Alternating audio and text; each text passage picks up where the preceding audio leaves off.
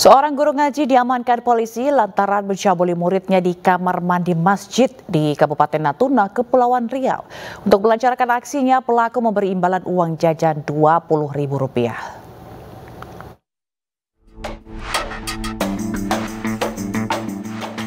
Seorang guru ngaji berinisial BP 48 tahun dibekuk Satreskrim Polres Natuna lantaran mencabuli muridnya.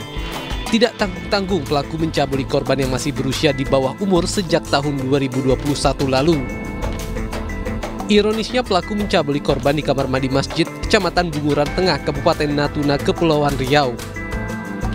Untuk melancarkan aksinya, tersangka memberikan imbalan uang jajan kepada korban sebesar Rp20.000. Aksi bejat itu terbongkar saat keluarga mencari korban yang belum pulang seusai mengaji. Saat pencarian, tersangka terpergok berbuat tindakan asusila terhadap korban. Tersangka tidak bisa mengelak saat ditangkap sedang bersama korban. Pelaku pun kemudian dilaporkan ke Polres Natuna atas perbuatan kejinya itu. Hasil pemeriksaan polisi, tersangka juga pernah mencabuli empat murid lainnya. Namun kini keempat murid tersebut telah dewasa dan berumah tangga. Peristiwa ini sebenarnya tertangkap tangan dari pihak keluarga.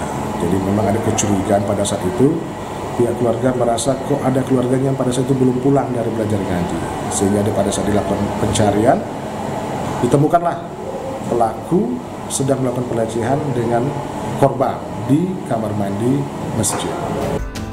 Dari peristiwa ini polisi berhasil mengamankan alat bukti pakaian korban dan pelaku. Sementara pelaku dijerat Undang-Undang Perlindungan Anak dengan ancaman hukuman 15 tahun penjara.